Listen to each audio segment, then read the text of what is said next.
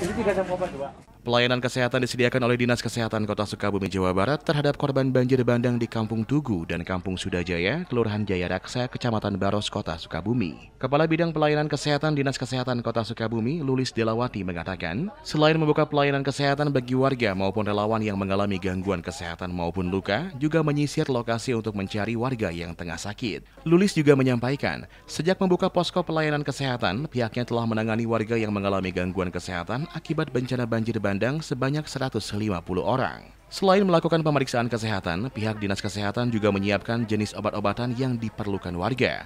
Dari hasil pemeriksaan kesehatan warga, pada umumnya mengeluhkan gangguan pernapasan dan gatal-gatal serta mengalami pusing dan mual-mual akibat kelelahan. Kita akan siagakan tim kesehatan 24 jam uh, kita siapkan juga obat-obatan sehingga tadi juga kita bisa mengetahui langsung turun ke lapangan obat-obatan apa saja yang diperlukan untuk uh, masyarakat. Ya. Keluhannya biasanya apa? Keluhan yang paling banyak sampai sekarang itu banyak ISPA ya, persoalan pernapasan, kemudian juga uh, ada yang mulai uh, keluhan gatal-gatal. Ya lagi lagi liar ini teh lagi pusing.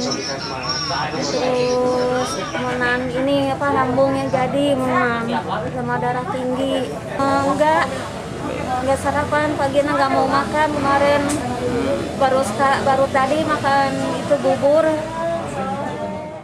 Dinas Kesehatan Kota Sukabumi menghimbau kepada para relawan yang ikut membantu atau mengevakuasi warga terdampak bencana banjir untuk tetap menjalankan protokol kesehatan. Diberitakan sebelumnya, hujan deras selama 4 jam mengguyur wilayah Kota Sukabumi pada hari Kamis sore 17 Februari 2022 dan memporak-porandakan ratusan rumah, fasilitas umum dan fasilitas sosial, serta sejumlah ruas jalan terendam banjir.